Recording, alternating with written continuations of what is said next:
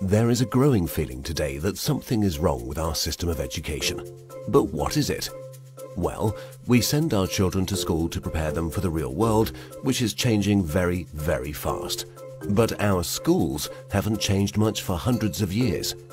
In fact, thought leaders from around the world agree that the current system of education was designed in the industrial age mainly to churn out factory workers. And this industrial age mentality of mass production and mass control still runs deep in schools. Industrial age values. We educate children by batches and govern their lives by ringing bells. All day long, students do nothing but follow instructions. Sit down, take out your books, turn to page 40, solve problem number 3, stop talking, at school, you're rewarded for doing exactly what you are told. These are industrial age values that were really important for factory workers. Their success depended on following instructions and doing exactly what they were told. But in today's world, how far can you get by simply following instructions? The modern world values people who can be creative, who can communicate their ideas and collaborate with others. But our children don't get a chance to develop such skills in a system that's based on industrial age values. Lack of autonomy and control. At school, our children experience a complete lack of autonomy and control. Every minute of a child's life is tightly controlled by the system. But in today's world, if you're doing important work, then you're managing your own time. You're making your own decisions regarding what to do and when to do it. But life at school looks very different. The system is sending a dangerous message to our children that they are not in charge of their own lives.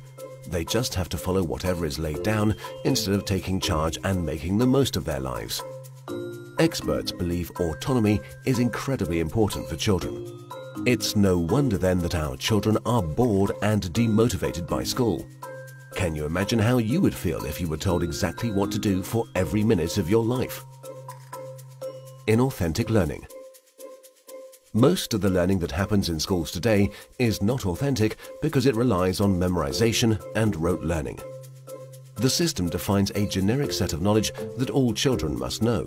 And then, every few months we measure how much has been retained by administering exams. We know that such learning is not authentic because most of it is gone the day after the exam. Learning can be much deeper and more authentic. It can be so much more than just memorization and retention. But that's the only thing we measure, and test scores are the only thing we value. This has created an extremely unhealthy culture for students, parents and teachers. Children are going through endless hours of tuitions, staying up all night memorizing useless facts that they will forget very soon. No room for passions and interests. We have an extremely standardized system where each child must learn the same thing at the same time in the same way as everyone else. This doesn't respect the basic fact of being human, that each of us is unique and different in our own way.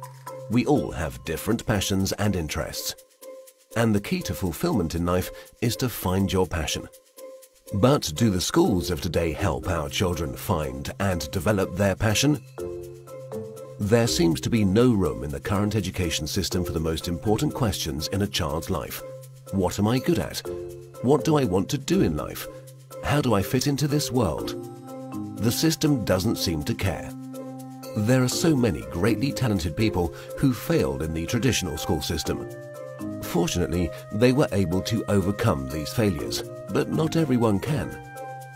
We have no measure for how much talent, how much potential goes unrecognized in the current system. Differences in how we learn. Each of us is also different in how we learn, in how much time we take to learn something, and what tools and resources work best for us. But the system has no room for such differences. So if you're a bit slow in learning something, you are considered a failure when all you needed was a bit more time to catch up. Lecturing. In the current system, children are lectured for more than five hours a day. But there are a few big problems with lecturing. Sal Khan from Khan Academy calls lecturing a fundamentally dehumanizing experience. 30 kids with fingers on their lips not allowed to interact with each other. Also, in any given classroom, different students are at different levels of understanding. Now, whatever the teacher does, there are bound to be students who are either bored because they're ahead or confused because they're behind. Because of the internet and digital media, our children have at their fingertips all the information in the world. Technology has made it possible for anyone to learn anything. But for fear of losing control, the system is not leveraging these incredible resources. Our system of education, which evolved in the industrial age, has become outdated and ineffective. If we want to prepare our children for the modern world, if we want learning to be effective and engaging, then there's no doubt that we need to fundamentally change our system of education.